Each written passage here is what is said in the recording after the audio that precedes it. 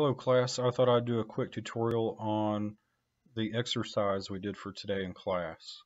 So as you can see, I'm at the website that Rajan pointed us to where we can find the data, uh, the spectral data. This is hyperspectral data. Here's the website in case any anyone has forgotten or can't find it in their history. So if you scroll down, uh, we are in chapter 6 here near the bottom and what we're looking for is grass that is dry and green, different ratios of green and dry grass. And there's six files here. And you'll see the ASCII data. This is just a text file. Okay, you can right click on it, click Save As. And what we'll do is we'll just save this to the desktop uh, in this instance. I'm going to download the first two files and show you how to graph these. And then when we're done, you can continue with the other four. So now what we want to do is just open Excel. You want to open. I clicked open other workbooks at the bottom. I'm just going to browse over here to my desktop. On the lower right, you'll see you can choose different file types. We're going to make sure we can display all files. I'm going to select the first data file and click open. Now you'll see a text import wizard comes up and this will happen when you try to import text files such as TXT or ASC or CSV using Excel. And what we want to do is, is if you see this bottom window here, there's all of this metadata that appears at the top of each file. Okay, and it tells you what the column names are, wavelength, reflectance, and standard deviation. And there's some other information in here. So what you want to do is scroll down so that only the values from the columns you want to import are shown, and also put the uh, the row number into this box here. It says 17. Click Next. And you see there's different options for the delimiters. So CSV files, for instance, are usually comma delimited. In this instance, this data is space delimited. So if you click space, you'll see initially down here at the bottom, the, the data is put all into one column, but we want it in different columns. Just uh, check the space here and you can click finish. If you click next, there's other options. For instance, you can tell it the data in one of these columns is a date or it's text. And then there's uh, an advanced feature. You can tell tell the Excel uh, if those are numeric values, etc. So, but we don't need that. We can just click finish. Okay, so there's our data. It's been imported into an Excel workbook what I'll do is select the first row, right click, and insert. This inserts a row, and so what we'll do is we'll add wavelength and reflectance. And then this is standard deviation. Uh, we won't be using uh, that, that row. Okay. And what I also want to do is change the name of this workbook you can see it's not very intuitive. So what we'll do is we'll just use the name, the descriptive name that they used on the website. And you can double click the tab and paste it here. I'd use control V to paste. Okay. And over here what I did is control C. You can also right click, click copy. Okay. Uh, we're going to also import the second file eventually. So while we're on this page, I'll just go ahead and copy the name of the second file. We'll add a second sheet. You can see there's now a new sheet after clicking the plus button. I'll double click the name of the sheet. I'll paste. And now that's prepared when we load the other data. But before we do that, let's go ahead and just graph what's here. So go ahead and select these two columns and go to insert. You can go to line And what we'll do here is right click on the chart and you should see this option select data. Okay, so we have the horizontal axis, which is the x-axis, the legend series, which is the y-axis. So what we want to do is we want to use wavelength as the x-axis, reflectance as the y-axis. So what we'll do here, let's do the x-axis first. This is the range.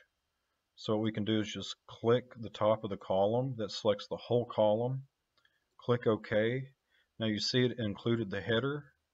You can uncheck the header. And what we'll do is remove here the wavelength series from the y-axis. Okay, so you can see we're getting there. And you can also click edit on the reflectance just to make sure that that's correct. And it is. Uh, you should see that reflectance here in the series name is highlighted.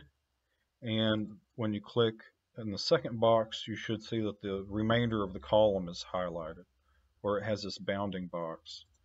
Now, let's go ahead and rename the series uh, name because we're going to be plotting uh, several different reflectance measurements. Okay, so what we can do here is you can just enter uh, whatever value you want. But let's call this um, dry 0.4 and 0.6 green.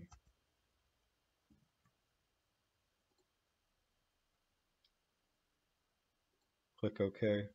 Now you'll see down here on the bottom I have a, a label for this line.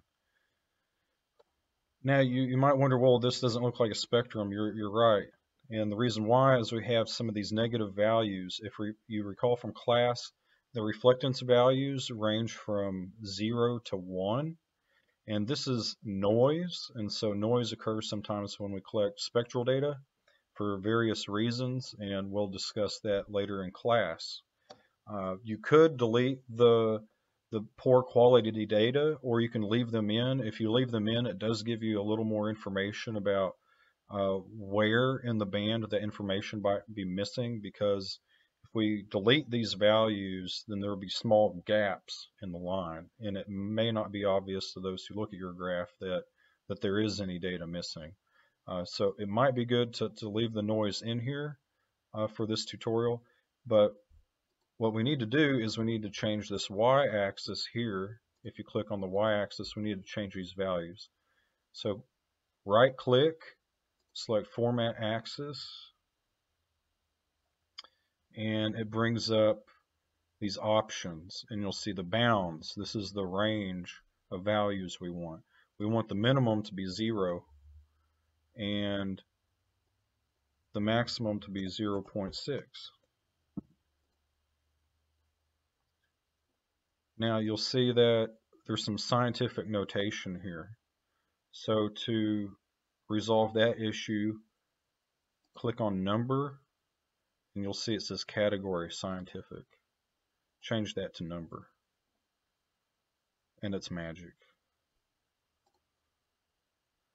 Now what we also want to do is we want to add an X and Y axis label. So let's do that. If you click on this plus here and go to axis titles, check both primary, horizontal, and vertical and then you can edit the boxes that now appear. So this is wavelength and you guessed it, reflectance.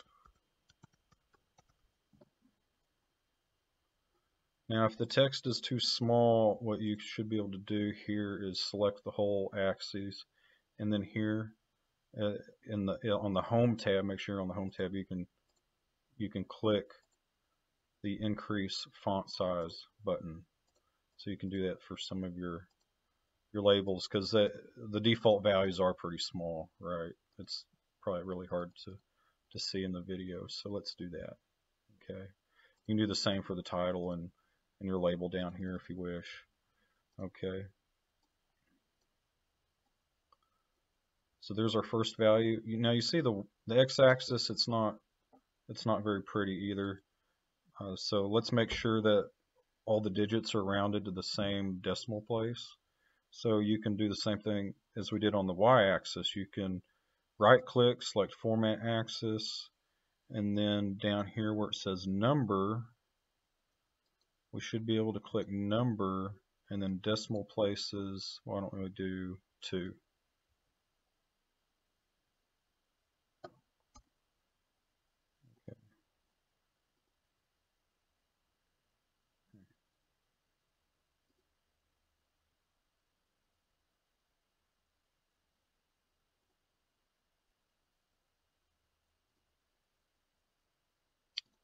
Okay.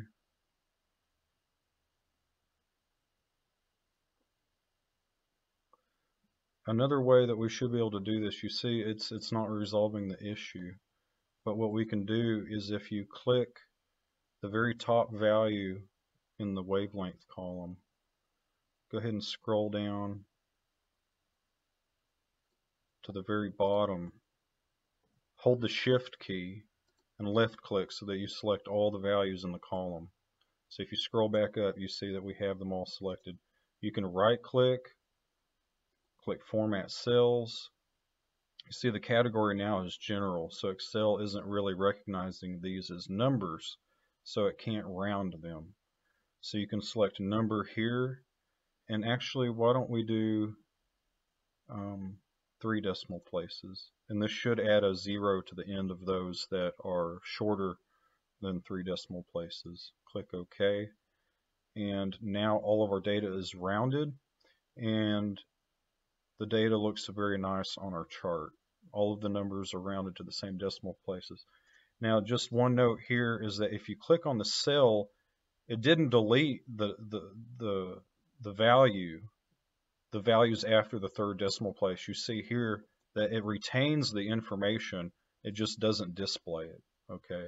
So that's important to know. Okay, so let's move on to our, uh, our second spectral observation. So if you go to File, um, sorry, go to Open, Browse, we're going to go to where you downloaded it. In my case, it was the desktop. You can scroll Hopefully you have less files on your desktop than I do.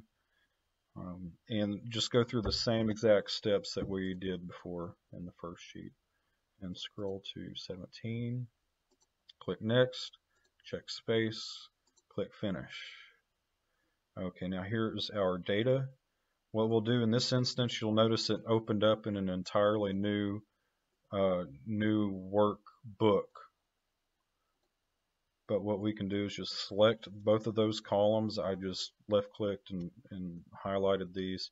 I'm doing control C or you can copy by right clicking. Come over here to your second worksheet. This is uh, what Dr. Xiao suggested, how he suggested we organize our data. Now we want to add the column header in here, okay, which we can also do this.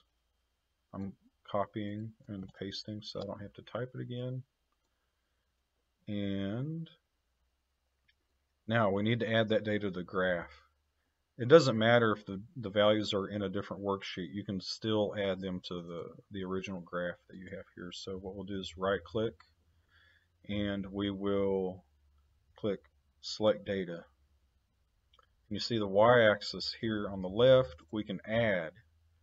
Uh, the series name is going to be following our convention.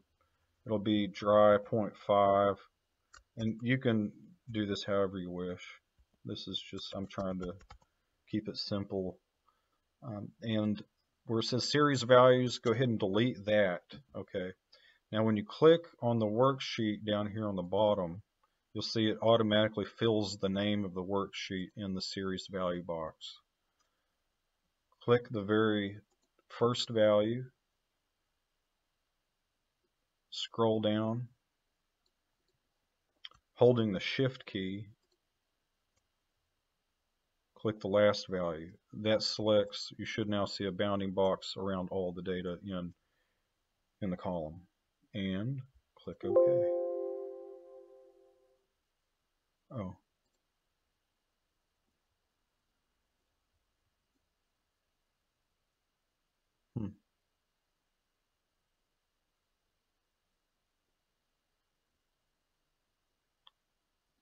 There's an error in here. For some reason it entered the name of the sheet twice, it appears. So what, what we'll do is I'll just delete this and we'll blame it on Microsoft. Okay, so if I come here,